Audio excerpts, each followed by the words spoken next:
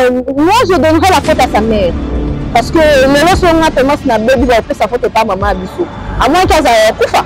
amonaki azala te me mwana oyo akoli na ndako na papa na mama par exemple ntongo abebaka papa mpe azalaka me apesaka faute epa nani ntango yo mama omemi da mwana na yo ya mokie oyebaki omemi ye na musike mpo abeba oyoki yende bon aleba jiba mamiki ye mwana mwasi wana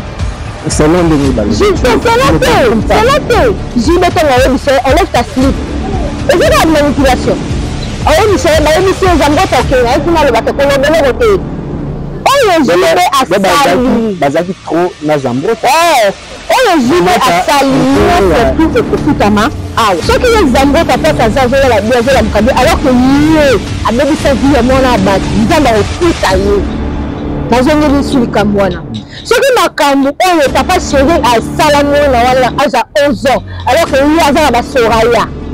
alors que ye nani nyonso tu oya foti ya junior sandra euh, sandra lina neti sandra lina na alors heureuse okomprendre sandra lina aza heureuse mpo ye motu asilisi miziki afutani te alobi yango alongolaka zemi ya papa chéri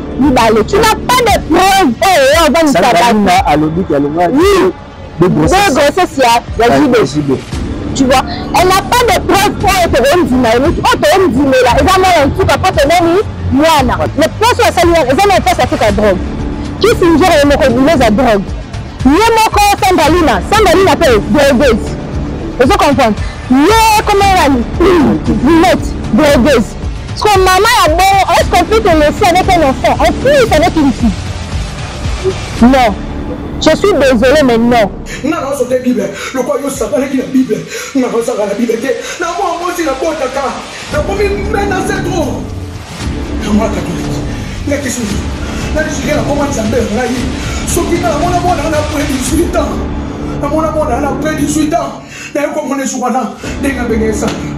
nga kisi noa na soutien biblia bana okoki kilolo na mwasi nabotaka batu komosamba london en tout cas die zola naza kaka na yo agence ya kitoko boye papa obike natindi bato nyonso kuna osala famille surprise tindela bango biloko ya toute sécurité na agence na biso zola production a rue du Marcadet numéro 31 31 rue du Marcadet Paris 18e biso tolalaka te biso totindaka na pepo totindaka mpe na masuwa na diezola ekoma beta gazo ngai bibe na paris ezaka diezola te bato donc bazokamwa eh, bazokamwa ndenge biloko ezokoma noki boye na bato ya kisasa bazondima te eh, boyebi wana oye okutani na diesola tu envoie ton colis ton frère ou ta sœur ou ta mère à kinshasa il prend le colis à bombe et uniforme nulle part ailleurs sur Zola Production, avec lui-même, Dieu Zola, London. ozwi voile mariage eza samedi lelo toza jeudi omoni ke biloko ekomi eputa natyelaki yo voile wana ka mardi na ntongo lelo jeudi oza nango na maboko de jour kuta ekoki nanu neti te lelo ozwi voile natyaki yango epai ya zola production epai die zola 31 rue marcade nzambe apambola bino mpenza oyo agence ya kitoko mpe eloko ebungaka te na nde boza koambala yango bozoprotege yango na babiloko eza fragile en tout cas die nayebi te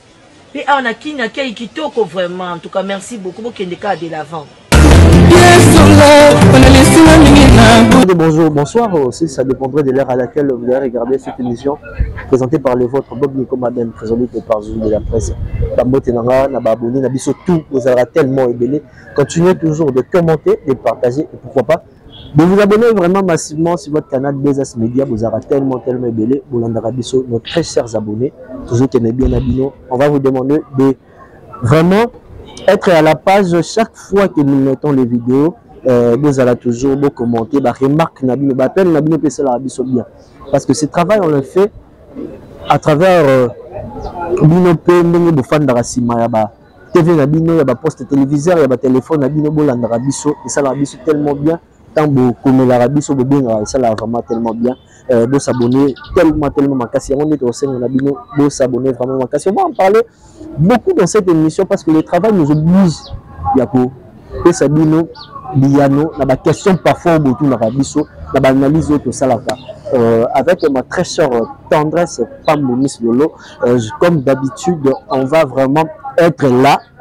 beaucoup mpo tomesana na bino bomesana mpe na biso esalaka biso tellement bien pourquoi pas bosengaka biso tozalaka toujours meme langage na bino esalaka biso tellement plaisir baabonne na biso ya desas media hein? on va en parler euh, dans cette émission de ce qui fait débat vraiment tomoni epesi bachaîne ebele epesi vraiment matière partout est-ce vrai pourquoi est-ce faux pourquoi tokosolola vraiment dans cette émission avec ma très chère miss lelo hmm, tendresse pambu derrière la caméra zairoi teti risco lovandi je te salue euh, dekan pro max le boss je te salue pourquoi pas mon vieux yo casserole bob énergie na peso bambote toute l'équipe ya 2s média bozalaka tellement tellement ebele bolandaka biso sans oublier la big manager même Baby Singh, Chacha Queen, Fabien Larenta, chérie, je te donne de gros bisous, place aux amis, Big Manager.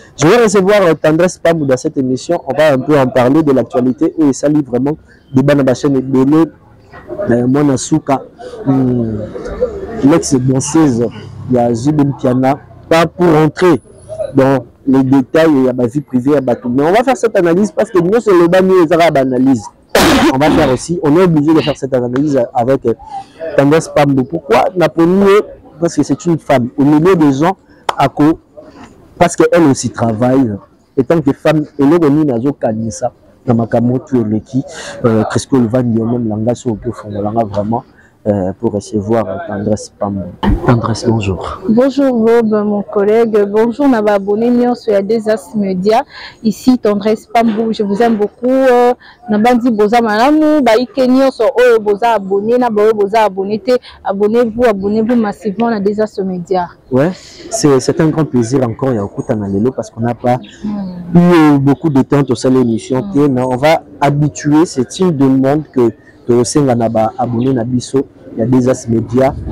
il y aura un grand plateau ce grand plateau oyo ekozala vraiment biso mibale mpo ya kosala baanalyse à part les invités oyo tokoyamba sur les faux mais les analyses beaucoup on va commencer euh, à présenter na baabonne na biso balandaka biso tandis pas on va un peu en parler hmm. de ce qui a fait vraiment debat hmm, na internet tomoni bato ebele tomoni bato ebele basaleli baémission euh, ndeko na biso hmm, sadrak akangai que je vais un peu citer le nom oyo tout le monde bayebi ntango ayambaki mwana suka esali vraiment débat epesi vraiment ba ba émission net nde tolobaka de partout on va commencer tendresse pambu ye moko oyokaki ba réplique ya mwana suka na ba question batunaki avant ya okoma ke kisi njora nde atindaki elekaki boye po ekoma oyo oh, epesamaki mbongo boye boye avant ya okoma wana on va sur soir nanu na le grand dossier moninga no mpe mwasi mhm. dans le milieu musical comme ex danseuse tozongi nanu étant danseuse ntango yo pambo oyokaki comment mwana nsuka alobi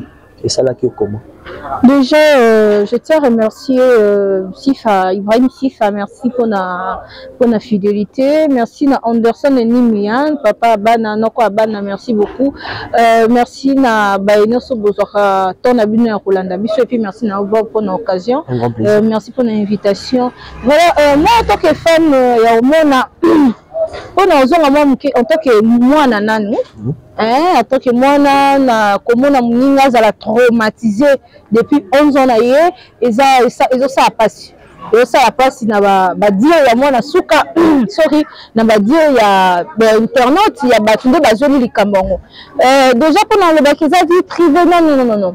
euh, internet déjà avant kutu ya na internet euh, musicien artiste star azalaka na vie privé te vous voyez sala mamu bien bongisa déjà terrain mpo lobi tovandela yo te tosala loba émission quand tu n'arranges pas tes arrières tu n'assures pas tes arrières di attends toi à ce que bob na tendance bavanda mpo babeta lisolo yango donc voilà mwana suka ayebi biso lisolo ayebi biso matière aye na yango na youtube ekotisi mpe mbongo euh, ça fait mal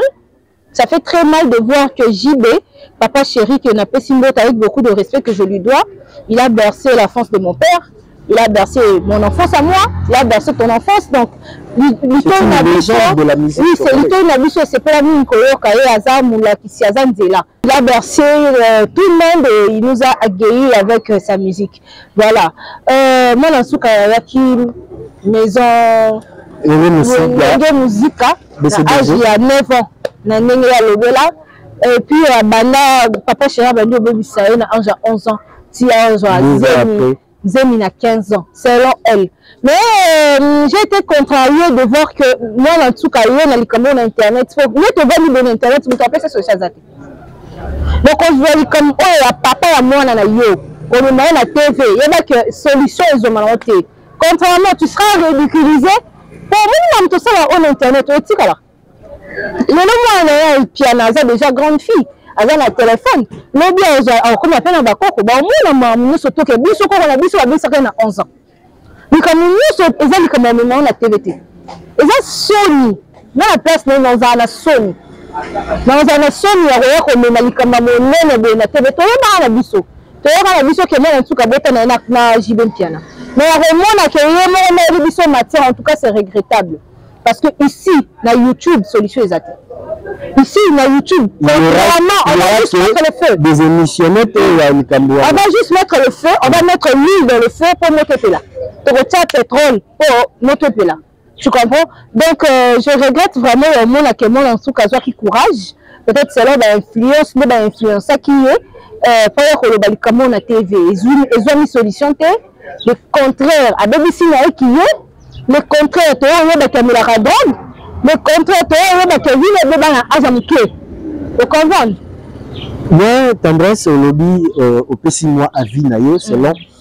ndenge ba internet misusu c'est pas que je suis d'accord avec euh, oui, l'acte de JB je viens euh, topesi parce que nyonso parfois misusu tolobaka awa na émission ezalaka peut-être nsima caméra luvambi ayebisaki nga kingani alobaki kingani alobaki nde peut-être tokomisa yango ah c'est pas peut-être de notre intelligence biso biloko misusu tolobaka mm. Vraiment tozonga nanu à l'âge mwana aye akoti orchestre les parents azaki wapi et on va donner la faute aux parents que tobeta mwa lisolo nanu wana parce que toza na Haïti te toza na Brésil te toza na États-Unis d'Amérique te toza na Congo toyebi ndenge makambo ya Congo esalaka nini ekendaka à l'âge de 9 ans bozwi mwana mm. boyini ye na orchestre na musique en plus mwana mwasi hmm. meka mpe ko expliquer biso tant que femme et tant que maman zala na place ya mwana zala na place ya maman zala na place ya tant que mwasi bozwi mwana hmm. boye otia ye na kati ya orchestre hmm. qu'est ce que vous attendez mwana ademeure tant que star mwana ademeure etant que qui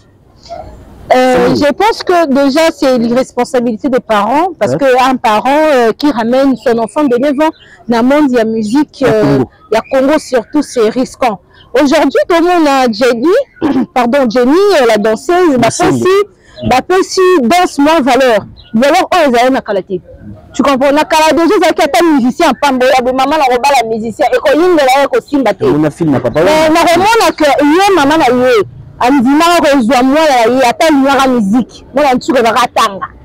po moi je me dis soki atangaki mwana 9 ans tokozwa deuxième troisième primaire voilà soki atangaki parce que déjà mwana oyo aza na musique awantanza na classe azala stable te hmm. parce que aza ya cheval aozala concentré na mambo ya classe te ok jibe afutelaki ye classe toboyi te mais après moi je pense pas ke azwaki notion eh, ya reyi ya chik mpona ndenge ezalaka no azalaki deja na mambo ebele ngai napesa faute na baparent na ye lelo tomoni papa abimi papa bruno mpo alobi na ye mwana nsuka yolobake papa bruno aza mwana te aza papa na ye papa na ye aza papa na ye biologique te ou papa adoptif tokokomprendre te place wana ouais moi je donnerai la faute à sa mère parce que lelo so nga tendance na bebi bakopesa faute epa mama ya biso amonaki azala ya kufa amonaki azala te me mwana oyo akoli na ndako na papa na mama par exemple ntongo abebaka papa te azalaka me apesaka faute epa nani ntongo yo mama omemi da mwana na yo ya mokie oyebaki omemi ye na musike mpo abeba po yoro yende bon allez bon je ba manipuler mwana mwasi wana selon ndenge baloselon te selon te selon te je ne confirme rien j'appelle mm. mon nom s'il vous plaît mm. tu vois je suis vraiment en train d'appeler analyse selon ndenge bato bazoyelela selon te komona mwana ya moke na ya mokolo na papa ya mokolo nani aza likolo ya moninga eza papa jibe ntongo ayebisa ye enlève ta slip eza kaka manipulation ayebisa ye bayebisi ye zambota okei aye kuna alobaka koloba eloko te oyo jibe asali bazalaki trop na zambota eh, oyo jibe asali nyonso tu ekofutama awa hmm. abota bana basi deja aza na bana basi ah, ye na bit azobota mpe asisi mpe kobota te azobota bana basi azwa bakoko ya bana basi soit aza na bango je ne sais pas tu vois nyonso tofutamaka awa nyonso tu tosalaka na mokilo efutamaka awa mpo na komona ke likambo ya olali après 9 ans mwana loya komi mokolo na likambo wana ezoya kobima c'est-à-dire ke eloko moko te ebomaka kaka na ti ya mokili oyo tout sese on va parler aussi des jibe oui j'arrive jibe a détruit la vie de cette fille jibe a traumatisé parce que ya de ce genre soki babala nzoto biso na age ya mike ozala batraumatisme moko na motu na yo voye ozala motu na yo ozala batraumatisme moko boye peut-être yango mpe kotisa na monde ya drogue nani ayebi zamgoto oyo bandaki kokende kotika lelo aza na états-unis est ce que zamgoto na mosala oyo nyonso yosali mpe ajibe états-unis nde suka makambo états-unis eza na mokili états-unis eza na mokili nde biso toza na mokili ya lifuti ya bato ya miziki ya congo Euh, wana nalobi peu importe wana eza na temps ya musique peut-être mais yusko osali déjà au-delà de la musique ezalaki euh, me na ye loboko na ye ya mobali ou soit loboko na ye ya mwasi comme ye aza mwasi tu vois oyo bandaki kosunga ye et tout je pense pas que ifute ya zambote ezalaka etage-unis oyo akenda mpo etats-unis mpe bato basufraka baza etats-unis mpe bato oyo bakufaka baza ocomprendre oyo bakufaka mpe na maladi oyo congolais asani ah, abiki nango bakufa na malaria outi aoke nango kuna okufi ya mpo yango mpe traitement nango eza te oyo zamrot asali oyo jibe asali ekofutamaka awa soki ye mwana nsuka amemeli biso mikolo boye tovanda mpo tobanda ya odemetre makambo ya lokuta ye mpe akofutama ese tu comprends ye mpe akofutama nde tozana na lisolo mutu na mutu ana part de choses na ye jb aa na lifuti na ye ye mpe mwana suka meme biso okuta parce que selon elle ayaka musique na 9 ans mm. selon elle babebisi ye na age ya 11 euh, ans mm. azwi zemi na 15 ans mais totali na baarchive na baarchive ya kala mwana nsuka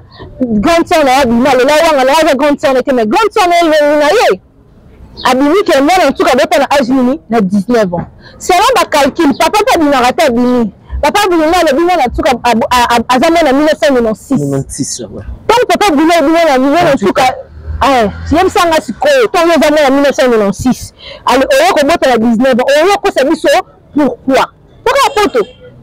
okosa biso mpo na poto si toye wana euh, mwana ntuka elle a du mal ya komona tout le temps oyo alekisi pa jibe JB a bâtissé.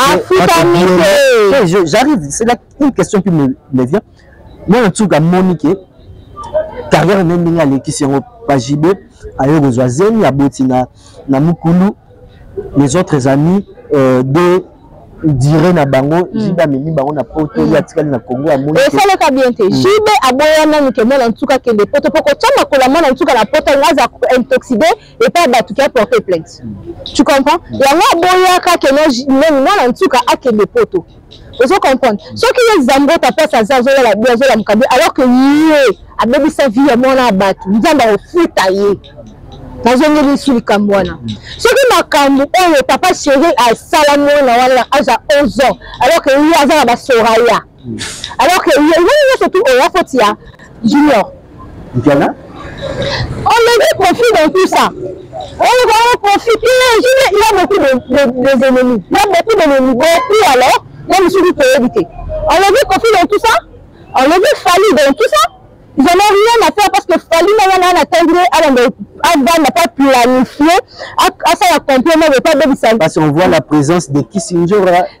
Kissinjora nde aza wana moi je ne sais pas na oloba mingi te sur Kissinjora hmm, on va Kissinjora c'est Fally donc Fally qui pousse Kissinjora ya kolukela ba Kissinjora Sandra euh, Sandra Lina neti Sandra Lina na alors heureuse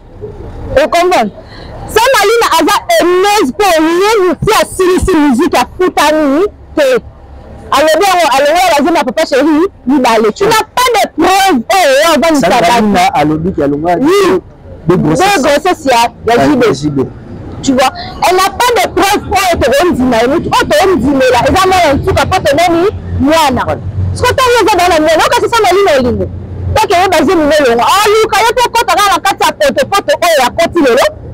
posa nini posala ye nde esali boye yo soki okende omona bamwana na eke baoboya omona mwana estce mama bajine azoba estce leki ya jine aza zoba estce jb aza zoba ye ntango batikaki ye na mwana ye ntango batikaki na mwana akomaki olesa mwana jb badendo ya papa tayo mobala ya papa cheral ya dendo alors ke bana misala kuna mo fleuri kuna balia dendo te ntango basala wana bazalaka na plan na baoyebi ke jour boye tolambaka boye jour boye tolambaka boyekasi peu importe mwana ya jubo olese bembe ya balabala olese sabeti ya balabala projet na yo mwana suka ezalaki nini oboma ye oza otyelaka poison kufa olingaki mwana te bazwi mwana bakave mwana mpo yo mama oza drogueuse okomprendre yo mama oza drogues lopango basali basali truc wana basali émission na na commune ya kin babengaka commune ya kin barumbu na barumbu voilà barumbu le place oyo asali wana eza na place bateka drogue kisingere ye moko bino eza drogue ye moko sambalina sambalina mpe drogues ozo comprendre ye komelani brunette drogues ce que maman ya bongo est ce qu'on peut te laisser avec un enfant en plus avec une fille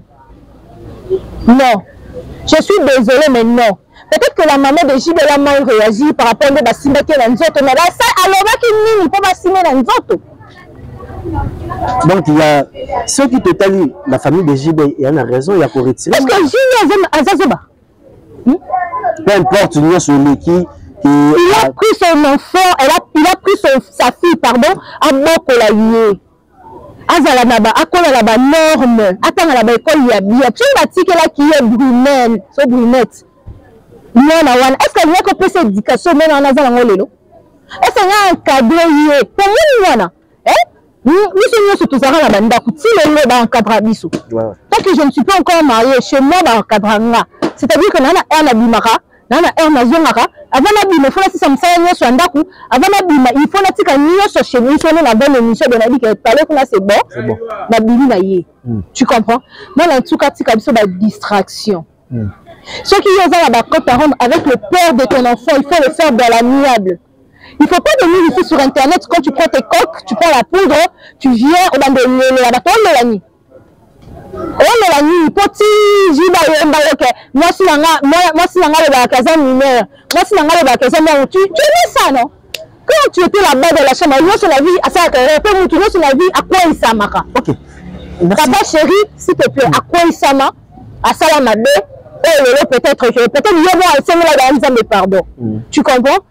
mais da likambo ese koma mwana azali hmm. ntango yo ozokende mpe asandra lina moto asopa bazemi asimba mwana te hmm. oyokaki sandra olinga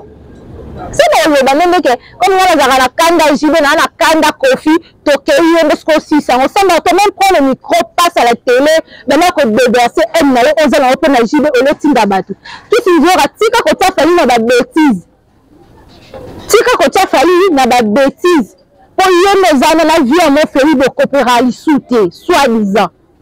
ozoyoka botika kotya vie ya biso mpe ya mofeli na babetise jibopia naa na bato ebele junior aleka na tv aloba ba n'importe quoi na, na canape jaune mais papa ne papa chéri ye moko ye aleki encourage mwana tu comprends mm. eh, baye baye Laurent Sokoko baza mm. baye nani kombo nani oyo oh, nani kombo nani eh, Denis Lessi mpe aza na moto azozwa part moto na moto akanelaki ye na ndenge na ye ntango jibe lisusu ayesi koloba lisusu amati sisu bato wana mafuta jibe edike mwana na ye ye mpe atika drogue lokola mama na aleki nani kombo nani mwana ntuka nalingi mpe naloba boye Étant que femme, pourquoi beaucoup des artistes musiciens en termes de danseuses soki na nina loba que nakoki kopesa euh, ndeko na biso plus de poulet raison na makambo alobaki étant que danseuse ndenge aleka na baorchestre tout wana euh, abima bima bima na ba président baorchestre pourquoi la plupart ezalaka danseuse alongwe na orchestre ntango ezalaki azalaki nano orchestre c'était bien notre leader notre papa notre chouchou euh, leader ya mufube pembe pembe tina suka elle n'avait pas dénoncé mm, tout ça ntango mm. kaka abimi baboti ntango azali mpe kaka wana babotaki ntango abimi ekomi no omoni kuna le papa est mauvais l'artiste asalanga boye abima na ngai na age ya 4 ans abima na nga boye boye boye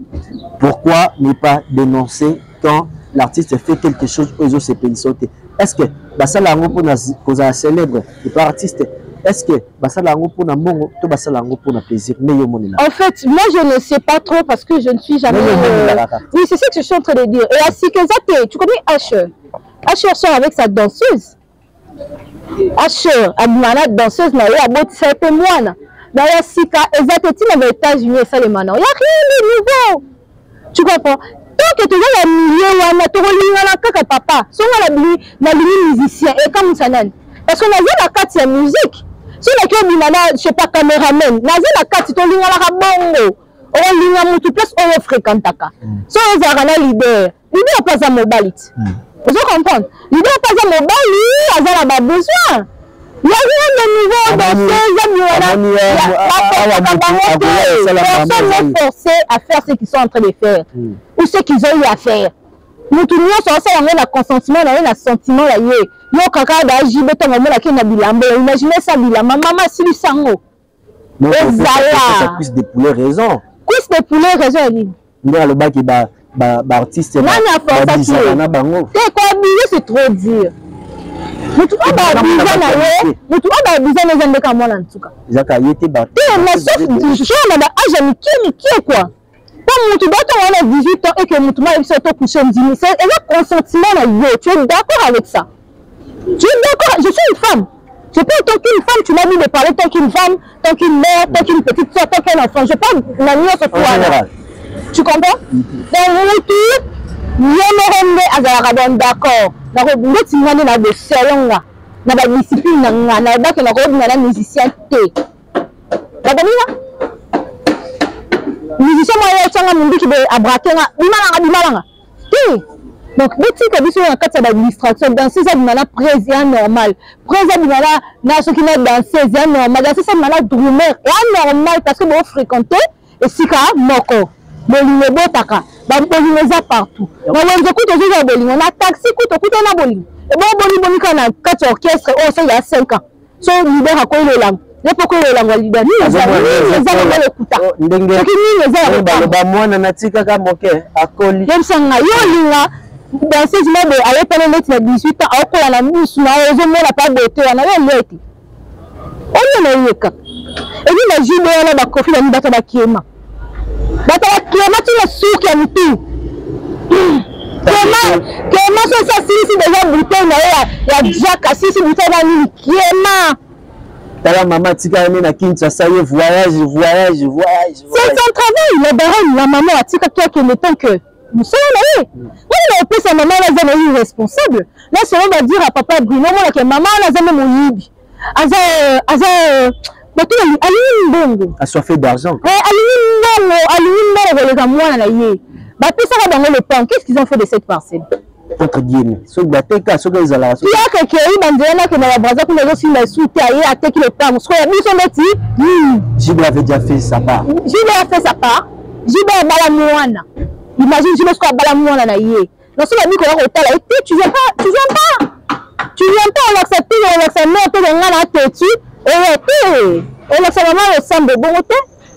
Donc voilà, moi je suis contre Nel en tout cas. Au départ j'étais pour elle et après comme maman Mozo Bima, Mozo Bima, Mozo Bima, moi je comprends que Nel elle est en train de dire du n'importe quoi. Et alors les gens qui s'affirment na makambo ya kotsa mwa balar ne toyoki mwa lisolo yango eke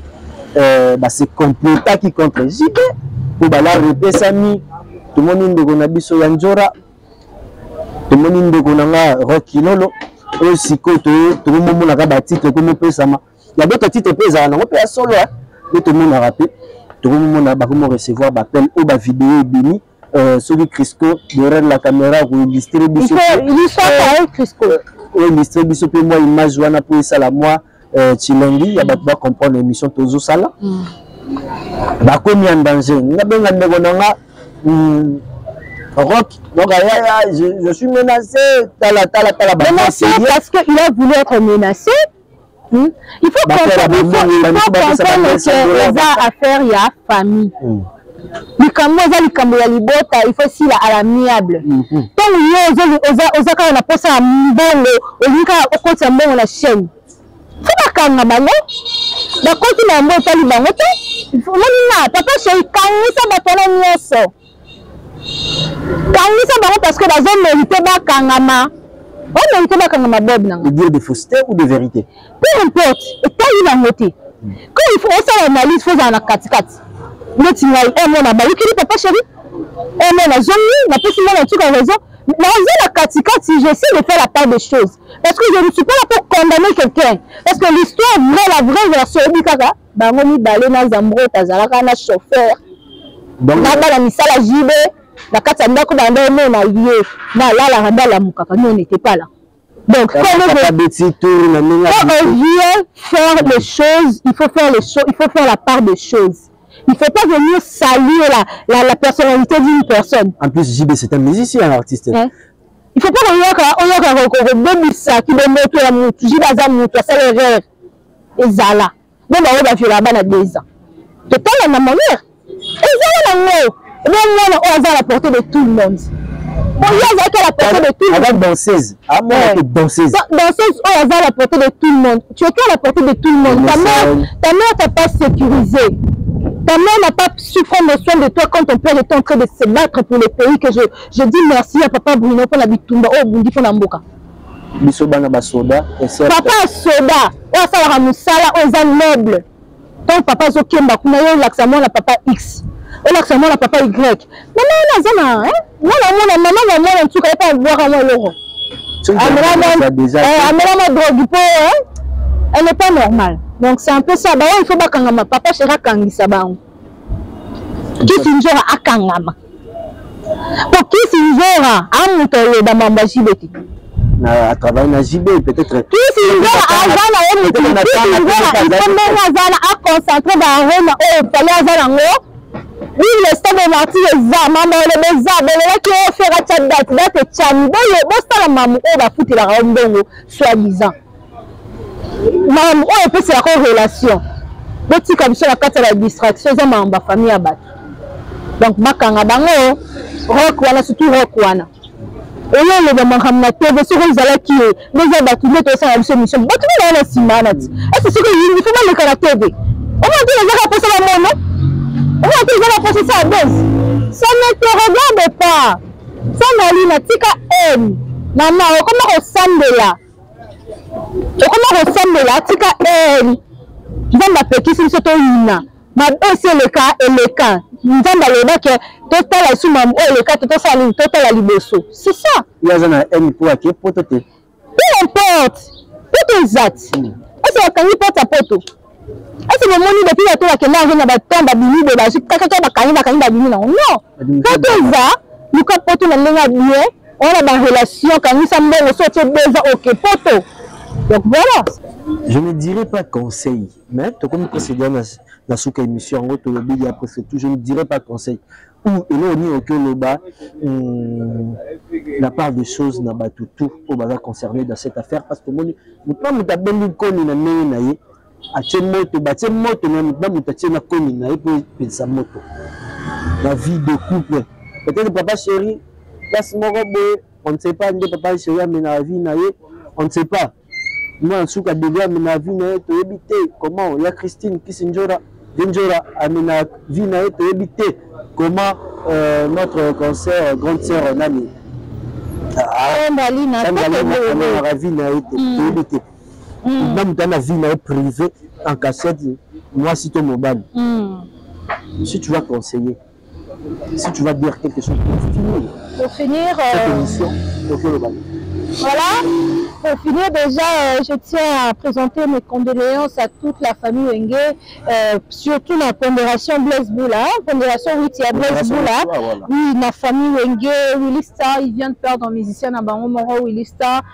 en tout cas na, depuis paris euh, mikoleos nzambe oyo asoignaka bapota oyo apesaka kimia apesa bino kimia donc voilà euh, condoléance à toute la hmm. grande famille pondération des pondération oui, oui. Ya, de blaise bula lokumu ya kulutu nde na biso ya bondali ya tolde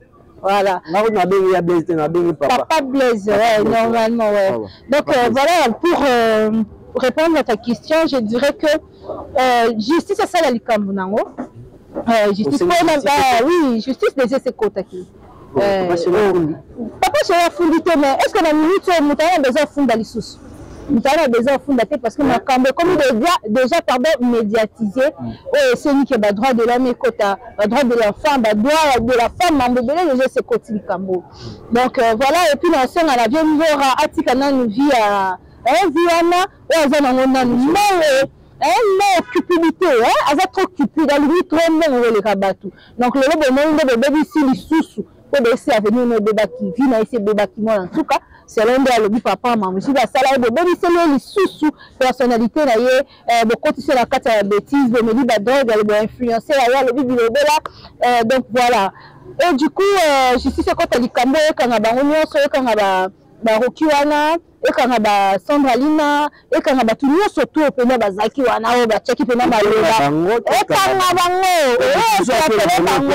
interpele bango epuis ekangi bango parce que batie maloba na bango na kati ya makambo ya famille ya bato mpo na miniti ya likambo ya famille mais oui nga te natie maloba oyo nalobi wana qu'est ce que je dis j'étais au milieu je ne suis pas venu pour condamner jubin piana hmm. c'est vrai qu'il a tort C'est vrai qu'il a tort à oui, abuser d'une fille, d'un enfant et tout. C'est vrai qu'il a tort côté mais on a pas assez de preuves. rien ne prouve qu'il a fait ou rien ne prouve qu'il n'a pas fait. Mm. Donc euh, voilà, je ne serais, je serais vraiment pas exigeante, mm. je serais vraiment très légère par rapport à ça. Mm. Euh, je suis ça le Kambunango. Voilà, en tout cas, internet, internet, et puis c'est une solution. temps donc solution eza te solution totikima kaka na bakonzi euh, nayokaki motu baloba eh, na mboka faci bakanga jibe eh, faci ye moko kutu se mpe ye kokange soki asololi fo ebongo kaka boni boni jibe mpiana na mboka faci bakanga nani abokaki mwana mai moko atombolo mwana mai nabi eh, kamera ekuta kanama ebongo boni boni kaka jibe soki asalaki mabe donc euh, voilà euh, Merci beaucoup na ba abonne ya Desas Media. Merci na boss na nga DKM Pro Max. Merci na Crisco derrière la caméra. Merci pour les images. Merci beaucoup na Ibrahim Sifa mon partenaire. Euh, Anderson, hein. Anderson na nini mon partenaire wana ba partenaire vraiment vraiment merci na yo Bob. Euh, nini.